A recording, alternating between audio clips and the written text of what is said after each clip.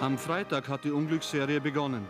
Der Brasilianer Ruben Barrichello verunglückt schwer und überlebt. Doch beim Abschlusstraining am Samstag hat der Österreicher Roland Ratzenberger keine Überlebenschance. Einen Anprall mit über 300 Stundenkilometern hält zwar das Monocoque, nicht aber Kopf und Genick aus. Und dann am Sonntag zunächst eine Startkollision. Sieben Zuschauer werden schwer verletzt. Und dann erleidet Ayrton Senna dasselbe Schicksal wie Ratzenberger. Aber das Rennen geht weiter. Und schließlich werden drei Mechaniker in der Box fast von einem Rad erschlagen. Wollen die Zuschauer das wirklich sehen? In Imola auf der Rennstrecke dämpft jedenfalls nichts ihre Begeisterung. Die letzten Aufnahmen von Roland Ratzenberger drei Minuten vor seinem Tod. Niemand ahnt zu diesem Zeitpunkt, dass er für immer die Boxenstraße verlassen hat. Ayrton Senna, schon geschockt durch den Unfall von Baricello, wird noch nachdenklicher. Als das Training abgebrochen wird, hoffen alle auf ein weiteres Wunder von Imola. Aber für Roland Ratzenberger kommt jede Hilfe zu spät. Es ist nicht viel zum Sagen dazu. Ich weiß jeder Mensch, was da durch den Kopf geht. Sicher ist man geschockt nach so einem Unfall, weil wir, äh, das Team hat einfach entschieden, nach so einem Unfall, wo man ja gewusst hat, dass der Unfall schwer ist, nicht mehr weiterzufahren. Es hat äh, zuerst äh, lange Diskussionen gegeben, dass das Training überhaupt nicht mehr vorgesetzt wird, dann, dass keiner mehr fährt oder nur ganz wenige. Im Endeffekt sind alle gefahren, aber bei uns war die Entscheidung, dass wir nicht mehr fahren und ich glaube, die Entscheidung war richtig. Ich will momentan gar nicht diskutieren, mal anders mehr machen.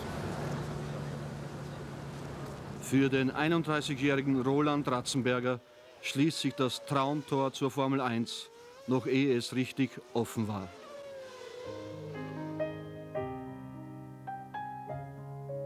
Ich muss sagen, also für mich war der Roland äh, ein Mann, der sein Ziel erreicht hat und der es immer noch erreicht hat, insofern, dass er ja von dem Unfall nichts mitbekommen hat, außer dass er kurzfristig gemerkt hat, das Auto biegt ab und dieser kurze Zeitraum, äh, der ihm geblieben ist, hat ihm keine Gedanken an den Tod geben können. Das heißt, das ist vielleicht das Einzige, was man sagen kann, dass er keinen Schmerz verspürt hat und dass er eigentlich in seiner eigenen Traumwelt geblieben ist. Die letzten Erinnerungsstücke im Haus der Eltern in Salzburg. Roland Ratzenberger hatte längst in Monte Carlo Quartier bezogen. Schon als kleiner Bub träumte er von der großen weiten Welt, der Motorisierung galt seine große Begeisterung. Als Kfz-Mechaniker und HTL-Schüler macht er seine ersten kleinen Rennversuche und mit 24 gewinnt er den ersten größeren Bewerb, ein Formel-Ford-Rennen auf dem Österreichring. Drei Jahre später folgt sein erster Sieg in der Formel 3. Mühsam und mit kleinen Schritten dient er sich hoch. Naja, sein Ziel, also wirklich mit, einem, mit einer Zielstrebigkeit verfolgt, die meiner Meinung nach seinesgleichen sucht. Ich kenne niemanden, der so einen harten Weg durchgemacht hat, äh, bis er in die Formel 1 gekommen ist. Und ich muss es auch dazu sagen, äh, er hat immer sehr stark an sein Talent und an sich selbst geglaubt. Und äh, es ist halt sehr tragisch. Beim 24-Stunden-Rennen von Le Mans fährt er sogar einmal zusammen mit seinem Lehrmeister Walter Lechner. Langstreckenrennen faszinieren ihn und auch die Hektik, das Getriebe, der Geruch nach Abenteuer in den Boxen. Wir haben noch kleine Probleme und ich habe jetzt, ich hab jetzt, ich hab jetzt, einen, ich hab jetzt einen sehr schlechten Satz Reifen gehabt, wahnsinnig viel Untersteuern und am Schluss auch keine Traktion mehr. Also ich hätte nur ein bisschen schneller fahren können, aber wir sind jetzt fast bei den schnellsten Porsches dabei. Seine Freundin aus Afrika ist dabei, als er in Le Mans 1992 mit einem fünften Platz aufhorchen lässt. Wir haben in der Nacht zwölf Runden verloren, zuerst mit der Kupplung und dann mit dem Getriebe. Das hat uns den vierten Platz gekostet im Endeffekt, aber es war einfach ein normaler Getriebedefekt. Wir haben den vierten, fünften Gang verloren. Vorher ist äh, der Kupplungszylinder kaputt gegangen. Also das sind Sachen, die du einfach nicht, wo du nicht drin steckst. In den 90er Jahren fährt Ratzenberger vor allem als Werkspilot in Japan. Seine Siege beim 1000 Kilometer Rennen von Fuji und im Formel 3000 Bewerb von Suzuka werden aber in Österreich kaum registriert. Umso überraschter ist man dann, als Ratzenberger 1994 der Einstieg in die Formel 1 gelingt. Mit seinem Syntec fährt er die ersten Testrunden ausgerechnet in Imola.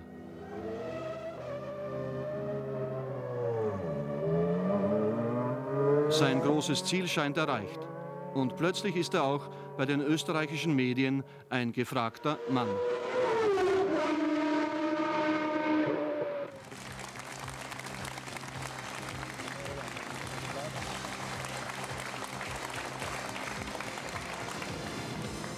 Ja, wie kommt das, dass es so lange dauert? Ich habe schon gesagt, zehn Jahre etwa sind Sie prominent im Motorsport tätig, ja. dass Sie den Sprung in die Formel 1 jetzt doch noch geschafft haben. Ja, ich wollte mich halt gern gut vorbereiten für die Formel 1, aber es hängt natürlich von sehr vielen Dingen ab, äh, dass man in die Formel 1 kommt. Und das Wichtigste ist, dass man halt einmal zum richtigen Zeitpunkt am richtigen Platz ist. Und jetzt war es halt der Fall. Der große Traum endet schnell und unerwartet. Nur einen einzigen Grand Prix hat Ratzenberger bestritten. Dann ist es dunkel geworden.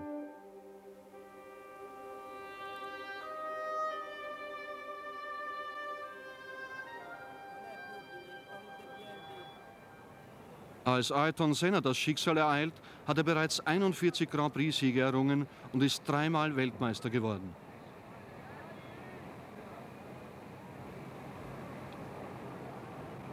Die Betroffenheit in seiner Box ist groß.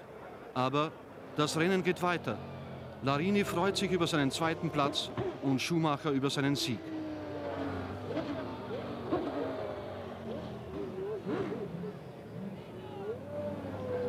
Und die Zuschauer jubeln mit, als wäre nichts geschehen.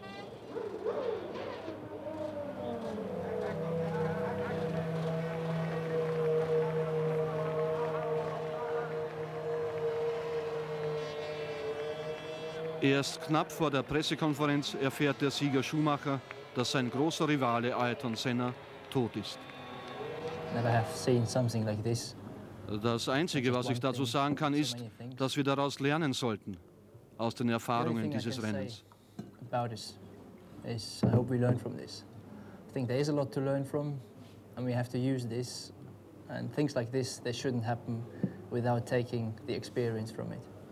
It's the only thing I want to say and I can say. Gerhard Berger ist völlig gebrochen.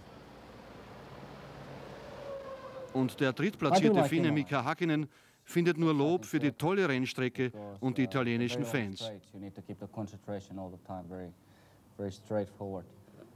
Uh, and I like Italy, and uh, I think it's a fantastic place. Atmosphere is fantastic, you know. Italian people makes a good atmosphere.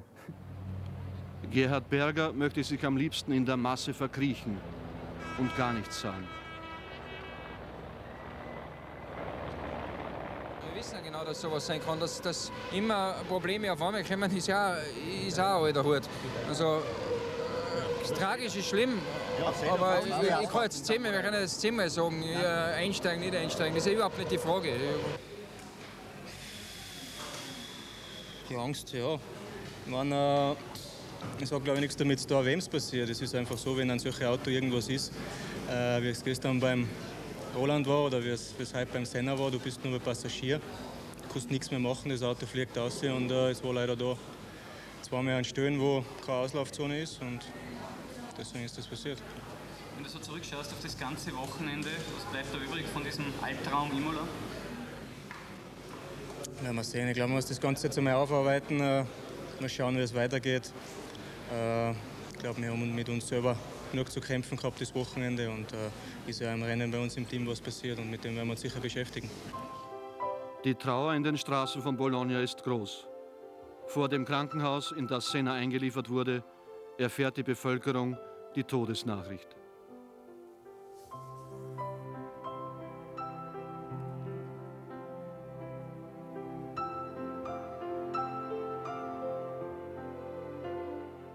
In Brasilien wird die Meldung auf den Anzeigetafeln der Stadien verkündet, die Fußballspiele werden unterbrochen. Die Fans schreien Senna, Senna. Eine dreitägige Staatstrauer wird ausgerufen.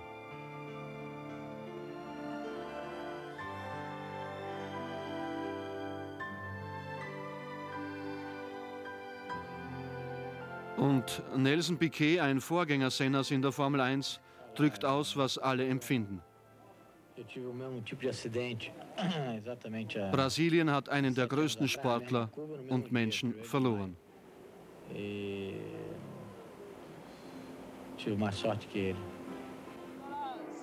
Seinen ersten Sieg feiert Senna 1981 in Brands Hatch in der Formel Ford, den ersten Grand Prix-Sieg in seiner Heimat Brasilien 1984.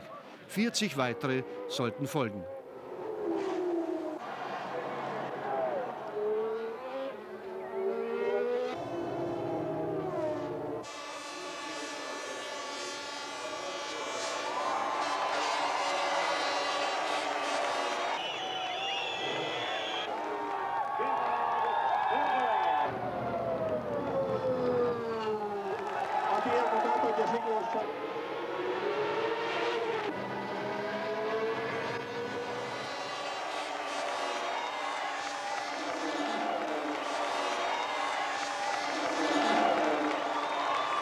Die Zuschauer begeistert Senna stets mit seiner aggressiven Fahrweise. Alle Formel 1-Fans diskutieren immer noch das dramatische Finish des Formel 1 Grand Prix von Spanien. So ein hartes Rennen? Nicht das aufregendste meiner Karriere, sagt Senna, das war Estoril voriges Jahr.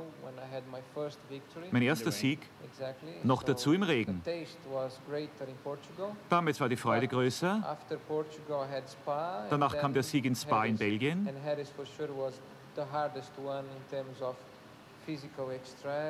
Aber Jerez war sicherlich das härteste Rennen von der körperlichen Belastung her. Zum ersten Mal in seiner Formel-1-Karriere musste Senna das ganze Rennen hindurch um den Sieg kämpfen, von Start bis ins Ziel. Noch einmal das unglaubliche Finish. Fast kein Unterschied, nur 14.000 trennten Senna und Menzel auf dem Zielstrich. Gerhard Berger, der Österreicher, war bei den Testfahrten schneller als Senna. Und Senna lobt ihn. Ein junger Bursch mit sehr viel Kraft, sehr viel Ehrgeiz. Hat ein sehr gutes Auto heuer, den Benetton Tolman BMW. Und wird immer besser werden im Laufe der Saison, noch bessere Ergebnisse erzielen. Denn Gerhard Berger hat die ganze Zukunft noch vor sich. Gerhard Berger steigt nach drei Jahren bei Ferrari mit Saisonende aus diesem italienischen Traditionsrennwagen aus und geht zu McLaren Honda, also ins beste Formel-1-Team der Welt, das in den letzten Jahren in 24 Rennen 21 Mal gewonnen hat. Was glauben Sie, erwartet Sie bei McLaren? Äh, Senna. das ist eigentlich das Schlimmste, was mir dort erwartet. He's very aggressive. Ja, und Berge ist genauso aggressiv wie ich, sagt Ayrton Senna. Wir sind beide sehr aggressiv, wir haben beide den gleichen Kampfstil, den gleichen Fahrstil. Wir überholen mit sehr viel Risiko, so schnell wie wir können.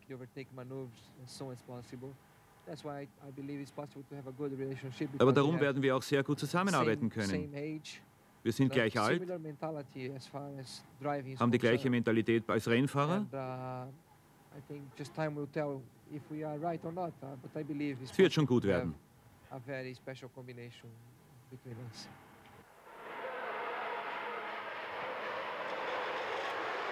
Senna setzt sich aber auch immer für die Sicherheit der Fahrer ein und bezieht Stellung.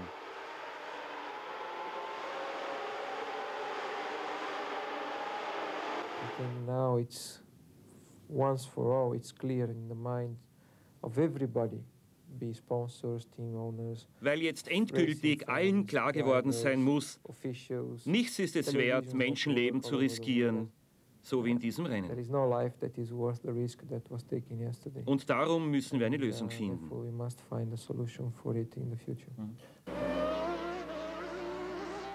Bei einigen Rennen hat Senna auch unglaubliches Glück. Vor allem zweimal in Mexiko.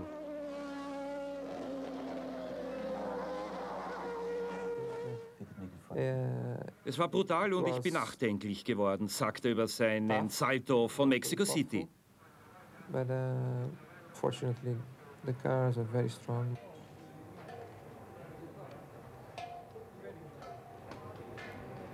Gerhard Berger hat Senna einige Male geholfen. Der Dank von Senna folgte 1991 in Suzuka.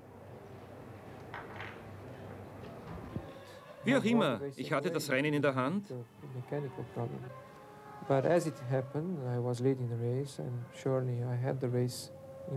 Ich führte, But ich war ungefährdet. We aber wir haben zwei Jahre sehr gut zusammengearbeitet.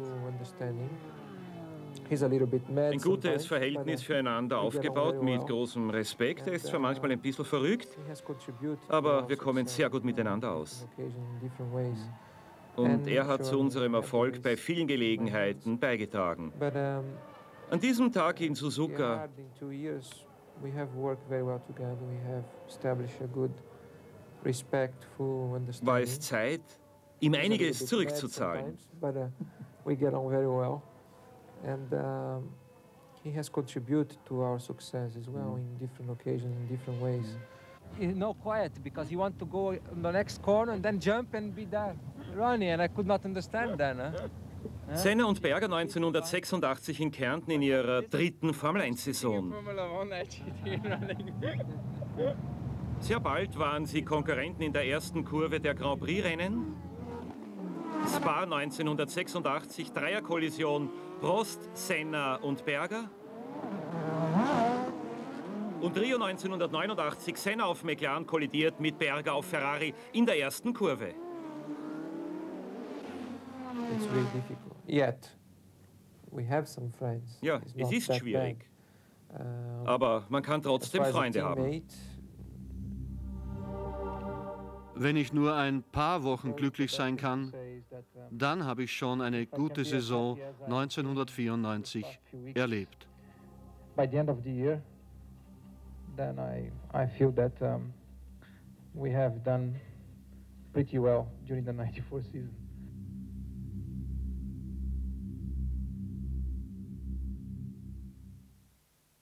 Niki Lauda, gibt es äh, eine Verbindung zwischen Ihnen und Roland Ratzenberger? Haben Sie die Karriere des Salzburgers ein bisschen mitverfolgt? Ein bisschen schon. Ich habe ihn zwar nicht äh, persönlich gut gekannt, ich habe natürlich mit ihm gesprochen und wusste, wer er ist. Sein Einstieg in die Formel 1 war mir natürlich bekannt, logischerweise, das wusste eh jeder in Österreich ganz besonders. Und da habe ich natürlich dann mitverfolgt, natürlich dann hart getroffen, hart getroffen, dass in seinen ersten Rennen, wo er gerade angefangen hat, Formel 1 zu schnuppern, er schon tödlich verunglückt ist. Mhm. Äh, Wenn Sie sich jetzt zurückerinnern an die Tage nach diesem äh, Imola-Wochenende 1994, wie ist es Ihnen persönlich da ergangen? Ähm, wie, waren Sie, oder wie würden Sie Ihre Stimmungslage von damals beschreiben, wenn Sie sich daran zurückerinnern? Ja, fürchterlich, weil ich wurde genauso wie alle anderen getroffen mit, mit äh, zwei Toten an einem Wochenende und den Barrichello-Unfall. Den habe ich heute noch im Kopf, wie der da oben auf der Leitschiene dahin fährt, ohne dass ihm was passiert. Also das war einer für mich ärgsten Wochenenden überhaupt im Formel-1-Sport. Und äh, ich werde das Wochenende nie vergessen. Ich war damals, glaube ich, Ferrari-Berater und war deswegen dort. Genau, und unmittelbar nach diesem Wochenende, nach äh, dem ähm, Grand Prix von San Marino 1994, hat äh, Kollege Robert Seger ein sehr, sehr langes und ausführliches Interview mit Niki Lauda geführt. Das schauen wir uns jetzt an. Es geht auf jeden Fall weiter und das ist die Brutalität unserer Zeit. Ich meine, eins muss einem schon klar sein. Man kann nicht einmal sofort nach einem so schweren Unfall, wie er da in Imola zwei, drei, viermal, wenn man die Zuschauer mit einbezieht, kann man nicht sofort sagen, die Konsequenzen müssen gezogen werden, dass man nie mehr Formel 1 fährt.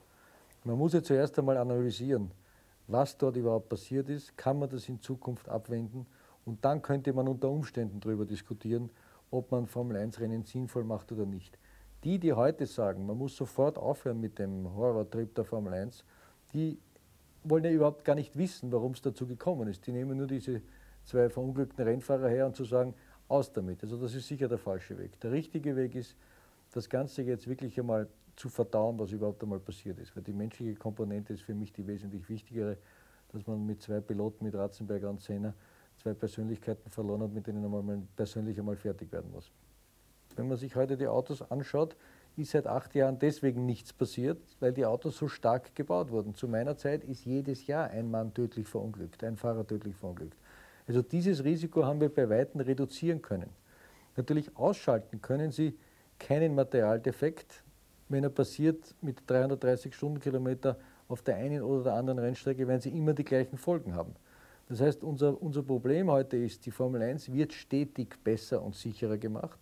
Aber man kann natürlich nicht so schnell wirken, wie unter Umständen eben so ein Materialproblem wie in Imola das ganze Schicksal wieder voll umdreht. Eins für mich wichtiger Punkt ist dabei, dass wenn man von Ratzenberger und seinem Simtech-Auto ausgeht, könnte man immer noch sagen, okay, das war ein Auto, das hat wenig Budget, alles ist neu, das erste Mal in der Formel 1, die, die, die wissen also nicht, was sie tun dort. Aber wenn Sie dann den Sonntag-Unfall von Senna nehmen, der der beste Rennfahrer der Welt ist, Williams das erfolgreichste Formel 1-Team überhaupt, und dann diese beiden Dinge vergleichen, dann müsste man zum Schluss kommen, dass die Autos vielleicht in Imola schon derartig belastet werden, dass eben ein schlechtes sowie ein gutes Auto dem nicht mehr standhalten kann. Und wenn wir zu dieser Grenze gekommen sind, das kann man nur durch eine genaue Analyse der beiden äh, Unfälle eruieren, dann muss man sich überlegen, wo ziehe ich jetzt die Handbremse an und versuche dagegen zu wirken. Herr Lauder, früher hat man immer gesagt, die Formel 1 äh, ist in ihrer Entwicklung dem Serienfahrzeug voraus und man übernimmt Teile aus der Formel 1 dann für die Serienfahrzeuge. Heute müsste man sagen, sie ist hinten nach. Es gibt kein Airbag, wäre sicher eine Hilfe und man hätte auch schon längst am Monocoque etwas verändern können, etwas höher an den Seiten. Das waren ja auch Forderungen von Ihnen zuletzt. Ja, und das ist leider jetzt die Konsequenz aus diesen Unfällen. Das äh, Monocoque, was ich angesprochen habe, das, ist, das schwirrt mir schon länger durch den Kopf, weil der Unfall von Leto beim Silverson-Testfahrten, der ist mit mehr als 200 Stundenkilometer verkehrt in eine Mauer gefahren, dass er sich die, die, die Wirbeln gebrochen hat. Alesi hat sich die Wirbeln gebrochen, weil er auch verkehrt angeprallt ist. Von hinten kommt der Schutz, aber wenn der Kopf dann nach vorschnellt, gibt es keinen Schutz mehr da. Das ist, wurde aber wieder ausgelöst dadurch, dass die Autos so sicher und stark gebaut sind, dass keine Knautschzonen mehr vorhanden sind. Das heißt, wir sind aus der einen Seite in starken Autos, haben wir die Fahrer der Beine, die Beine der Fahrer, den Körper geschützt, aber leider nur bis zu den Schultern. Das heißt, es wurde sehr viel gemacht. Jetzt ist man drauf gekommen, dass zwar die Zelle toll ist für, für einen Teil des Körpers, aber vollkommen ungeeignet ist für Kopf und Genick. Und jetzt wäre meiner Meinung nach der nächste logische Schritt, eben wie die Indies-Autos das heute schon haben, dass die Karosserie nicht bei den Schultern hier endet, sondern hier bis zu dem Helm hochgezogen wird, dass man auch diesen Schutz noch hat. Nach hinten hat man sowieso den Schutz des Überrollbügels und nach vorne muss man sich was überlegen. Vielleicht ist wirklich ein Airbag hier ein, ein Weg, eben die Formel 1 sicherer zu machen. Aber immer wieder menschlich, ganz klar, der gleiche Fehler. Man lernt nur aus Fehlern. Man lernt nur, wenn man die Realität plötzlich über Nacht oder über ein Wochenende derartig krass mitgeteilt wird, dass jetzt wieder alle anfangen zu denken, weil die Konsequenzen werden immer nur dann gezogen, wenn was passiert ist. Die Zeit drängt, in 14 Tagen ist Monte Carlo. Kann man bis dahin etwas verändern oder wird Monte Carlo zu einem russischen Roulette wie Imola? Monte Carlo wird nur dann russisches Roulette, wenn einem Fahrer im Tunnel was passiert. Weil der Tunnel hat ungefähr eine wahnsinnig, ich würde sagen 270, 280 Stundenkilometer Kurve. Da, wenn da technisch was schief geht, dann äh, kann es ähnlich ausgehen wie in Imola. Der Rest des Kurses, würde ich sagen, ist relativ sicher, weil die Geschwindigkeit nieder ist. Was mich besonders belastet ist, ist, dass die die Geschwindigkeit in den Boxen wahnsinnig hoch ist. Das heißt, Sie haben dort 50 Mechaniker stehen, die warten auf ihr Autoreifen zu wechseln und gleichzeitig fahren die Rennautos da mit 200 Stundenkilometern mehr aus der Box hinaus oder in die Box hinein. Und diese Gefahr, die ist äh, nicht gebannt. Man muss sich einmal vorstellen, ein Auto wechselt den Reifen, der fährt weg, der andere kommt hinein, die beiden kollidieren, dann gibt es äh, wieder Tote, die in der Box sind. Alboreto hat das fast ausgelöst damit, dass ihm ein Rad davon geflogen ist, was nicht richtig angeschraubt war. Das heißt, ich würde persönlich würde sofort dafür plädieren, dass man in Monte Carlo schon damit beginnt, weil dort die Boxen eh relativ klein und altmodisch sind, das gleiche Speedlimit, was wir heute im Training haben, weil da gibt es eines, im Rennen umzusetzen und zu sagen, man darf eben auch im Rennen nur mit 50 Stundenkilometer zu und von der Box fahren. Herr Lauder, wenn Sie noch aktiv werden, würden Sie jetzt aufhören? Würden Sie das als einen Wink des Schicksals empfinden? Das ist eine Frage, in welcher Position oder in welcher Richtung ich in meiner Laufbahn bin. Wenn ich mich heute in Schumachers Sessel setzen würde, der die ersten drei Rennen des heurigen Saison gewinnt, souverän, der am Beginn seiner Karriere ist, der unter Umständen heuer Weltmeister wird, wenn Sie den halt fragen, der wird sagen, nie im Leben, weil für ihn überwiegt die positiven Aspekte der Formel 1. Jeder Rennfahrer muss das mit sich selber ausmachen. Wenn einer am Ende seiner Karriere ist, wenn Sie mich gefragt hätten, ich weiß es nicht, sechs Monate vor meiner Beendigung meiner Karriere, ob das jetzt für mich Anlass genug ist, aufzuhören, hätte ich wahrscheinlich gesagt, ja. Gerhard Berger gibt im Moment keine Interviews, hat sich zurückgezogen, wird nachdenken über seine Zukunft. Glauben Sie persönlich, dass er weiterfährt? Das kann man sehr schwer sagen, weil das sind keine Entscheidungen, die man planen kann. Das ist eine Entscheidung, die kommt einem in den Kopf von einem Moment im anderen. Der eine ins Positive, der andere ins Negative. Ich glaube, da kann man in keine Menschen hineinschauen. Jeder muss das mit sich selber ausmachen, ob er dieses Risiko, und die Formel 1 ist nach wie vor ein Risiko, eingehen will oder nicht. Ja, Gerhard Berger, war es tatsächlich eine Frage für Sie, dass Sie sich gestellt haben, nach diesem verhängnisvollen Imola-Wochenende 1994 die Karriere zu beenden, den Helm an den Nagel zu hängen? Waren die Gedanken da? Ja, die waren absolut da. Man vergisst ja immer in dieser Diskussion, dass, man, dass, dass dieses Wochenende schon mehrere Facetten gehabt hat und vor allem am Tag vorher äh, Roland Ratzenberger verunglückt ist. Auch das war eine, schwer, eine harte Nummer für uns alle. Wir sind im Qualifying im Auto gesessen, haben, wollten alle gerade raus auf die schnellste Runde. Das, das war immer etwas Unangenehmes, immer was Schwieriges, immer was mhm. über den Grenzbereich. Und dann äh, einen Unfall von einem Kollegen zu sehen, der dann auf der Strecke liegt bei Herzmassage und und und. Äh, das sind so Bilder, die einfach wahnsinnig schwer fallen, wehtun äh, und auch zum Denken, zum tiefsten Denken anregen. Nächsten Tag natürlich nach Senna, das war dann noch oben drauf. Ähm, ja, bin dann ausgefallen an dem Grand Prix-Wochenende, war dann noch bei ihr dann im Krankenhaus und bin dann nach Hause geflogen und habe mir dann die nächsten Tage einfach die Frage gestellt, ist es jetzt die richtige Zeit, vielleicht selbst aufzuhören? Man, ist, man hat vielleicht noch ein paar Jahre vor sich, aber sind braucht man die, ist es gescheit. Äh, mhm. man, man, man muss in diesem Sport, vor allem in dieser Zeit, davon ausgehen, dass sowas auch mit dir selbst passieren kann und will man dieses Risiko noch gehen oder nicht gehen. Und ganz wesentliche Gedanken äh, waren, haben bei mir die Rolle gespielt oder eine Rolle gespielt und das war, wie ich, ich habe meinen Unfall an der gleichen Stelle gehabt. Genau, 89. 89, was auch jetzt gerade äh, letzte Woche 20 Jahre genau. her ist oder 25, 25, 25 Jahre her. Ja. Und äh, wie ich da im Krankenhaus in Innsbruck gelegen bin, nach diesem Unfall, habe ich einen Anruf gekriegt vom Eltern und der hat gesagt, wie es mir geht. Und er hat gesagt, naja, geht schon wieder. Mhm. Tut mir alles ein bisschen weh, aber kommt schon. Äh, Sage ich nur Eltern, äh, diese Mauer dort, die ist scheiße. Da mhm. wird mhm. irgendwann einer verunglücken. Und wir sollten schauen, dass wir die Rennstrecke dort ändern. Wir sollten schauen, dass wir die Mauer dort wegbekommen. Hat er gesagt, ja, du hast recht. Sag ich, was das wir machen, wenn ich das nächste Mal, wir haben jetzt dann den Imola-Test, da bin ich wieder dabei, da schauen wir uns das an und dann äh, schauen wir, ob wir das irgendwie den Vorschlag machen können, dass die Rennstrecke das modifiziert.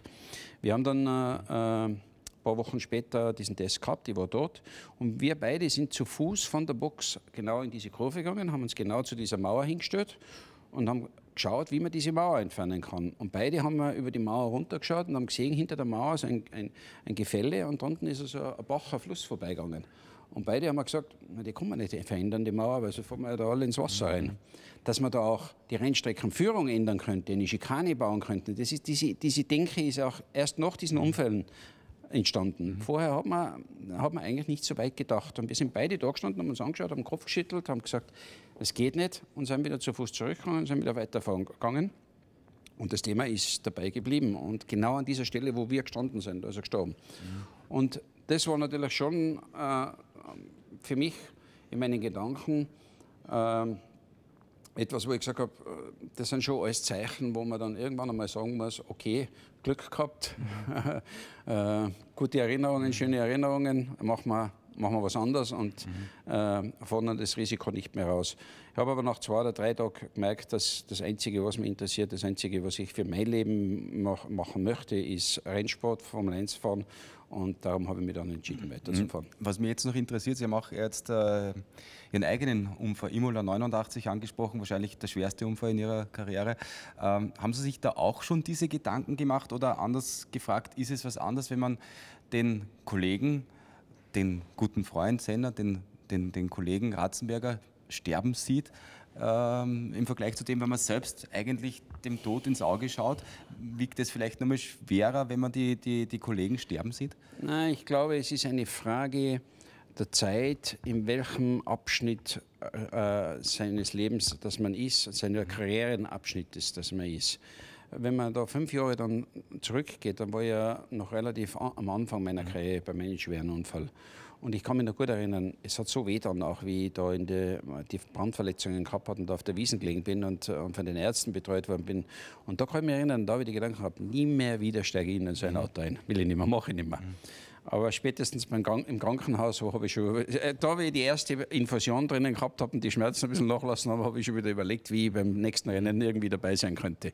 Also da war ich einfach nicht reif für diese Idee, für diese, für diese Gedanken, weil das einfach in einem Abschnitt war, der noch sehr früh war. Der Senna-Unfall war schon in einem Abschnitt, wo man sagen, da, da, da, war ich schon im Schritt des letzten, in das letzte Drittel. Da denkt man anders und da behandelt man sowas auch anders. Und Darum führt, es, führt, man dann auch solche Gedanken. Hat weder was zu tun mit dem eigenen Unfall oder mit den Kollegen, sondern hat eher mit der Zeit was zu tun. Gerhard, Sie waren ja dann auch äh, bei der Beisetzung von Ayrton Senna in Sao Paulo dabei, haben den Sarg auf den letzten Metern dann auch äh, mitgetragen. Äh, das war ein Wochenende, das die ganze Formel 1-Welt schockiert hat, vor allem aber natürlich Brasilien. Wie haben Sie denn die Anteilnahme im Heimatland, vor allem in der Heimatstadt Sao Paulo von Ayrton Senna, noch in Erinnerung? Naja, also ich habe vorher schon einmal erwähnt, äh, Rennfahrer, bester Rennfahrer aller Zeiten zu sein, ist, ist, da beurteile ich ein Paket, nicht nur einen, eine, eine naturelle Gabe, äh, schnell fahren zu können. Und ein Teil davon ist einfach seine Persönlichkeit. Und seine Persönlichkeit war so etwas Besonderes, dass wenn wir früher in, in neue Länder gereist worden sein, äh, sind, äh, Japan oder Asien oder wo, wo auch immer, dann ist öfters einmal vorkommen, dass, dass, dass, dass eine Anfrage da war, wo der Staatspräsident gesagt hat, er würde gerne den Ayrton Senna kennenlernen. Kein Mensch hat gewusst, warum den Ayrton Senna. Natürlich war er einer der erfolgreichsten von uns allen, aber da waren andere auch dabei. Der hat eine Ausstellung gehabt, die einfach anders war. Die war einfach für, für viele Leute sehr. Ähm, viele Leute haben das sehr attraktiv gefunden. Viele Leute wollten mit dem reden, wollten den verstehen, wollten den äh, mit dem näher stehen. Und genauso war es dann schlussendlich bei seiner Begräbnis äh, in, in, in Brasilien. Es war eine Begräbnis, die einer Staatsbegräbnis ähnlich war äh, und, und es war eine Anteilnahme. Es sind wirklich zehn Kilometer Leute in Dreierreihe da gestanden und, und, und, und sind hinter dem Sarg gestanden. Das waren nicht, nicht 1000 Meter oder 10.000 Meter, nein, es waren 10 Kilometer. Mhm. Und es waren hunderttausende Leute. Und, und, und, und da, ich bin so da gestanden und habe gedacht, wie wenn er es selbst organisiert hätte. Mhm. Also das war er. Mhm. Und hat, war natürlich äh, schön, weil, weil ich habe ihn sehr gerne mögen. Wir haben, wir haben wirklich ein gutes Verhältnis gehabt und ich habe mich für ihn riesig gefreut dass diese Anteilnahme so groß war. Mhm. Eine allerletzte Frage habe ich noch. Gibt es irgendein Erinnerungsstück, das Sie noch haben von Ayrton Senna oder vielleicht ein Foto, äh, das Sie besonders noch in Erinnerung halten? Irgendetwas, wo Sie sich 20 Jahre später nach dem Tod, nach dem äh, Imola-Wochenende noch an Ihren Freund, an Ihren Teamkollegen erinnern? Naja, ich habe äh, meine schönste Zeit mit ihm habe ich gehabt, äh, äh, wenn, wir, wenn wir gemeinsam auf, Urlaub waren. Mhm. Und, und da gibt es einige Fotos bei mir. Äh, aber äh, wenn ich jetzt, wenn ich mich zurückerinnere an ihn, dann, dann, dann sehe ich vor mir so zwei, drei Einstellungen. Eine ist, und da äh, gibt es auch ein Foto in den Archiv, ist, wo wir noch äh, gemeinsam äh, zu der Fahrerbesprechung in Imola gehen, wo er zu mir sagt, Gerd, nächste Woche müssen wir uns treffen, äh, müssen wir über Sicherheit reden. Das war nach dem Ratzenberger Unfall. Wir müssen über Sicherheit reden, wir müssen da mehr machen. Mhm. Das haben wir dort beim Hingehen besprochen, da gibt es ein Foto und das ist mir natürlich äh, in Erinnerung. Dann gibt es eine Aufnahme in meinem Kopf. Äh, ich bin an der Startaufstellung gestanden. Äh, und äh, Ferrari-Fahrer, ich war aus dem Auto raus, äh, die haben natürlich sehr viele Fans dort gehabt und haben einen riesen Applaus gehabt. Und ich bin direkt oder zufällig direkt neben seinem Auto gestanden, neben seinem Williams und er ist schon im Auto gesessen mit Helm auf und ich habe so richtig gesehen, wie er mich anschaut und, mhm. und wie er unter dem Helm lacht und, und wie er sich für mich freut, dass mhm. die, die, die Fosis äh, mhm. da so hinter mir stehen. Ja. Äh, das ist ein Bild, äh, das ich immer wieder bei Gedanken vor mir habe. Und das Letzte ist natürlich das, ich habe ihn im Krankenhaus noch äh, besucht, habe dann, war dann noch im Operationssaal bei ihm, habe mich dort auch verabschiedet, habe dort eigentlich gesehen, dass das, dass das, dass das das letzte Mal sein wird, dass ich ihn sehe. Und das ist ja der, die schwarze Seite, aber auch diese Seite äh, erinnere mich gerne. Gerd Berger, herzlichen Dank äh, fürs Gespräch. Noch mehr Weggefährten, noch mehr Zeitzeugen, aber auch der schärfste Konkurrent von Ayrton Senna, nämlich Alain Prost. Die kommen jetzt alle zu Wort in der nun folgenden Dokumentation aus dem Jahr 2004. Senna